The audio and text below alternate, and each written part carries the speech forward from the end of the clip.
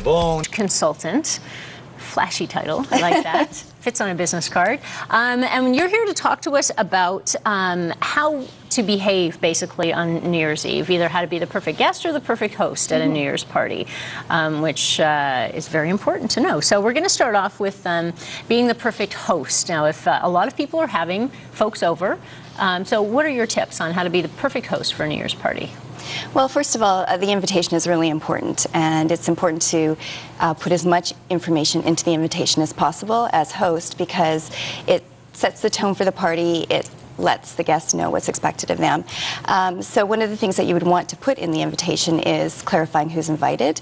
Um, the uh, it's not a, well in in any party situation the uh, um, spouses and children aren't always on the invitation, so it's really important to. Okay, so that. specifically you and a guest, or you and the kids, or you and the dogs, or that sort of thing. Exactly. But not outline all everybody who's coming to the party. Oh no no Okay. um, no, just letting people know who they should be bringing with Okay. them. All right, and uh, so once you know uh, who you're allowed to bring, um, what you're supposed to bring.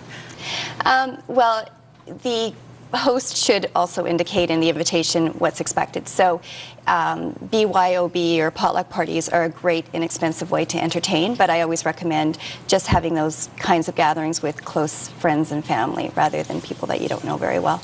Okay. Um, what about uh, who you invite? About who you who you would invite. Yeah. Um, well, one of the things that's important when you're putting together together the guest list is to uh, think about what your guests share in common. So.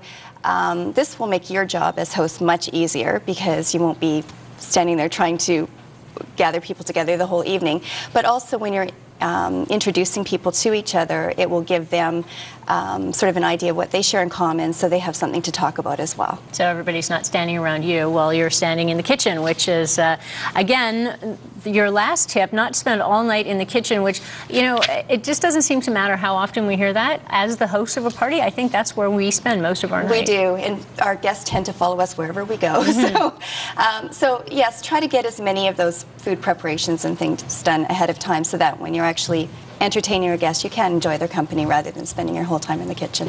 Okay, so if you are going to be a guest at a party, what are your tips for guests for New Year's? Uh, well, first of all, you would want to RSVP as soon as possible and always within the time frame indicated. Don't just show up at the person's house assuming that they're expecting you.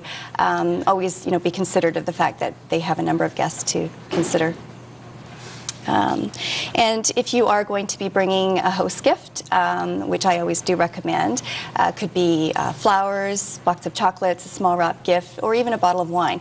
But one thing you do have to consider, if it is a bottle of wine, it is meant to be um, a gift for the host, unless it's been indicated in the invitation to, um, you know, by the host to bring a bottle of wine. Right. It should be considered a gift, and it shouldn't be expected to be opened during the evening. My favorite uh, hostess gift was I was at a party with Squire last year, and he showed up with a bag of. Uh, Hostess cupcakes and ding dongs and all things by Hostess, which I thought was very funny. That's great. So, is the hostess gift. You know, I mean, they can be funny, right? You don't have. They don't always have to be um, things that are really serious. No, So exactly. Anything to lighten the mood for sure. Right. Um, your last two, obviously, be on your best behavior. You're at somebody else's house, Mm-hmm. so and don't drink too much. Um, you know, things do come back back to haunt you the next day, so really be on your best behavior and don't, don't gossip or um, criticize anything to do with the evening. party recap the next day is always very entertaining. Yes. Um, and your last tip: don't leave last. Exactly. Um, really pay attention to the time and always leave within the time frame indicated. So if it's an open house, naturally there will be a time frame indicated, but sometimes there isn't. So you have to take your cue from the host, and uh, especially New Year's. I mean, parties do tend to go on a little later than usual. So, uh, you know, when the host starts yawning, I think that's a good indication. It's probably time to consider leaving. If the host is sitting on the couch napping, time to go. exactly. All right.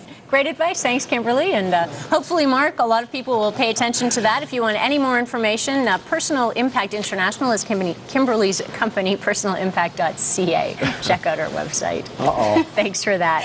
Thank you. I Well- love Squire's idea about the hostess gift, so I just thought That that, is was cute. the funniest thing ever. Yeah, only Squire could think of that. Ding you know, I, and Twinkies.